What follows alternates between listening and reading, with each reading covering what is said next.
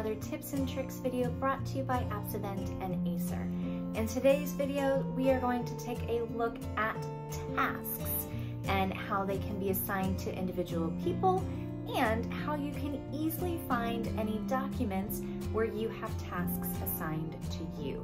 And this is a great way to help you keep organized, to keep you on top of the things you need to work on. And so let's go ahead and take a look. Now, tasks are something that can be assigned to any file that you have uploaded in your Google Drive. That includes docs, sheets, slides, even PDFs and image files you can assign a task to. So it works the same across all of them. You open up your document and we'll look at it in PDFs. Once your document loads, maybe you found a specific word or something you think is really important that we need to consider. Is this really the best for somebody? You can just highlight whatever it is you want to do and then you add your comment off to the side. Same thing in docs, same thing in slides, same thing in sheets. You add that comment. And then when you're adding the comment, you need to type someone's email address or if you're working with a workspace that has all of the names listed and attached to the email address, you can just type their name. But for example, I'm going to type one of my other email addresses here. And then you see this option with a check mark next to it that says assign to this person. Give it a check and click assign super easy. That task has now been assigned to my other alias and I will get an automated email telling me, hey, there's a task you need to work on. But we also know emails can get lost, can get confused, can get bogged down, especially if you're getting so many tasks assigned to you. And that's when we need an easy way to find out which documents you have to do something in. So to do this, super easy, you just go to your drive.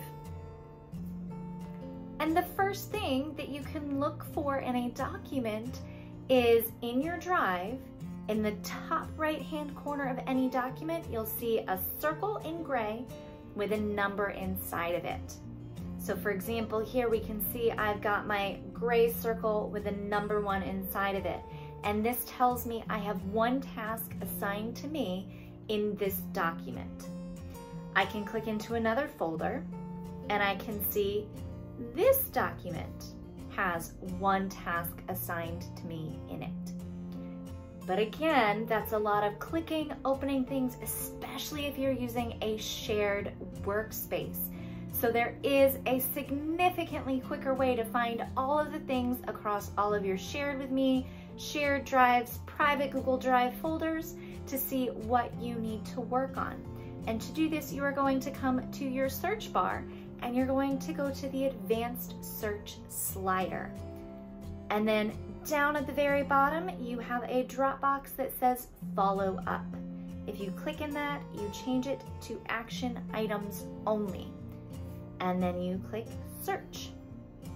And again, this will search through your private drive, any shared workspace drives, any files that have been shared with you, and any that have tasks assigned to you where someone has tagged you and said, yes, do this, are the only things that show up in this search. And I can see all of them have that gray circle in it, but they're the only things here because there's something I have to work with. And then I go ahead into one of these files. I complete my assigned task. I go ahead, I give it a check, I finished it. If I come back to my search results, we can see that number one in the corner has disappeared as soon as I click that check mark. And then if I give my search a refresh, that document is no longer going up to show up in my search options. So this is a fantastic way to keep track of all the action items you need to follow up on, that you need to deal with that are hiding somewhere in your drive. So again, super simple, get everything in the same place. Your advanced search slider down to the bottom, change it from the dashes to action items only, and give it a search.